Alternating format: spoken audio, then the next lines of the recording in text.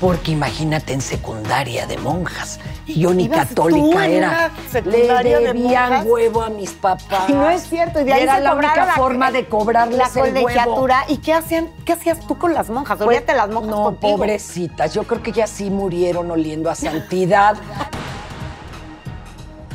Una tromba que inundó insurgentes metro y tantos ayudó a que una mujer entrara a una cabina de radio. ¿Podrías decir que eres precursora del feminismo en la radio en México? Sin querer, pero no, no del feminismo como tal.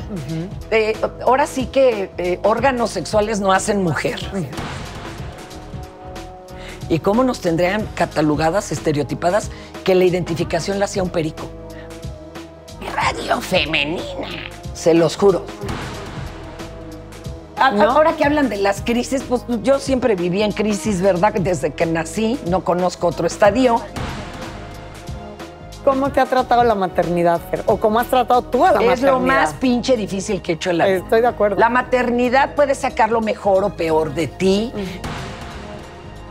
Tengo es una de mis piedras de la vesícula que todas tienen nombre y ¿A apellido. poco, ¿A poco le echas la culpa a Peña? Una de ellas tiene copete.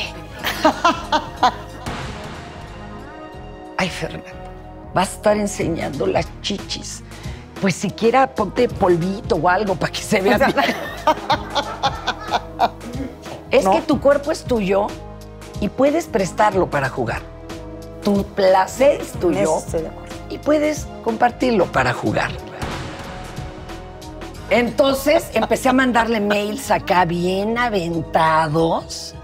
Y entonces él casi, casi despérrate tantito. No, me decía, "Agu- aguántate, cabrón, qué pedo, contigo.